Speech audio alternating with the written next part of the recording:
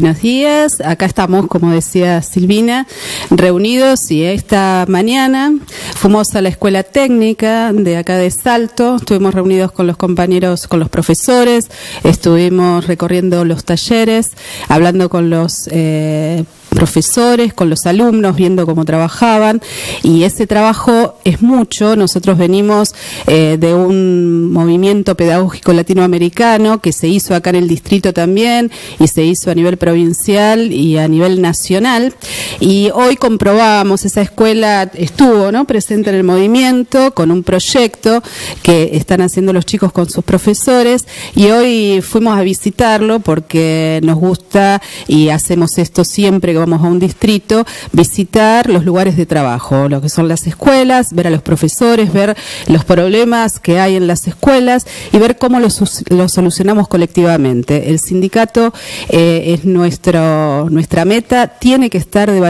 y lo hace en cada lugar de trabajo y las soluciones a los problemas que, se van detectando se pueden pensar, se deben pensar entre todos y el sindicato ahí poder eh, las dificultades que hay para el trabajo y también los logros, eh, poder ayudar a presentarlos como demandas. Eh, no, el sindicato no está ajeno, no está fuera de los lugares de trabajo, está dentro de los lugares de trabajo y eso es lo que venimos haciendo.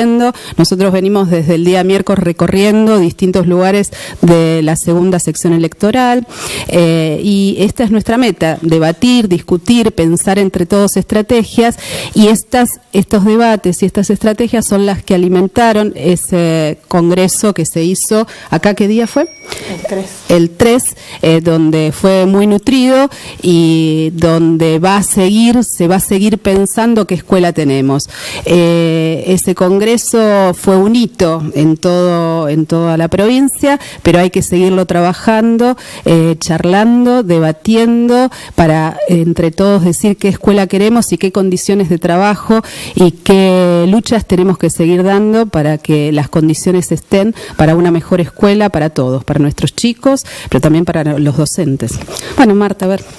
Sí, agregar algo este, que me parece que es importantísimo. Nosotros como eh, trabajadores de la educación tenemos uno de los logros este, que es un, un, punto de inflexión en nuestra historia como sindicato, que son las paritarias. Y estas recorridas ayudan muchísimo a conocer no solo las problemáticas eh, de los compañeros, sino también de las instituciones donde ellos desarrollan su trabajo.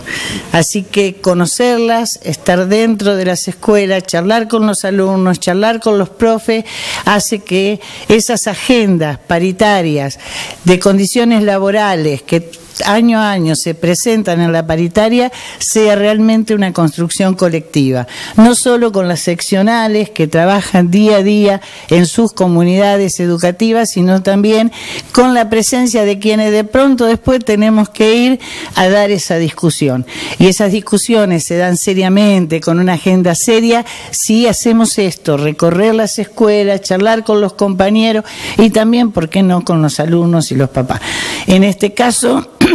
solamente hemos ido a recorrer las escuelas, pero ese otro trabajo comunitario de, con la comunidad educativa es la es el trabajo que cotidianamente hacen los compañeros en cada en cada seccional.